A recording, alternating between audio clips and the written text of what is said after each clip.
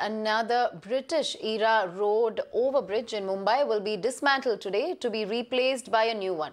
The 110 year old Sion Road overbridge, a vital bridge which links the western suburbs with central and eastern Mumbai, is being demolished to make way for the fifth and sixth railway lines between Kurla and Dadar. This is in order to segregate local train lines from long distance ones. The bridge is also currently crucial connector that links the Eastern Express Highway and Dharavi, Mahim and Bandra.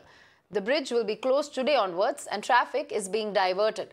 Traffic wardens will be stationed at every route where a traffic load is anticipated. Sion Road overbridge was built by the British in 1912 and the dismantling process will take around three months once dismantled, reconstruction work is anticipated to take around two years with an estimated cost of 50 crore rupees. Let's go to Shweta on this. Shweta, crucial Sion Bridge to be shut from today onwards. Uh, this is going to be a nightmare as far as commuters are concerned. What measures are being taken to lessen traffic congestion on this particular route? Because it certainly is going to impact traffic in that particular area? Uh, well, Radhika, if we see as the infrastructure is taking a boost in the city of Mumbai, but it does come with uh, a lot of uh, difficulties when it comes to commuting on daily basis. And this is the fourth bridge we are talking about, the oldest bridge of Mumbai, Sion Rail Over Bridge.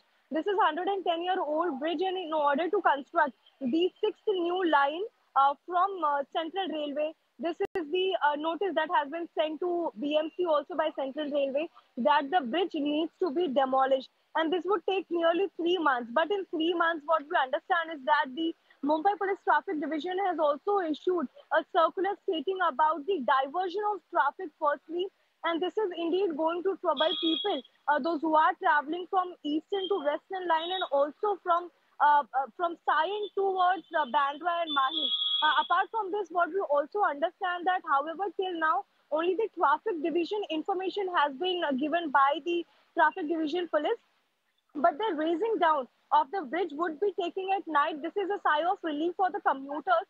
As we have seen in Gokhale Bridge also, the construction part, even the girder demolition, all these parts which are technical in nature, that takes part uh, in the night time. So probably around 11.30 onwards, we understand that Central Railway would be uh, taking the work ahead. But as of now, what we see is that people do find a lot of trouble when they are rerouted, and this is going to take place only three months. This is what has been uh, mentioned in papers. But remember, it has already, uh, in, in various cases in Hancock Bridge, we have seen Radhika, it has take, taken more, more than a year now.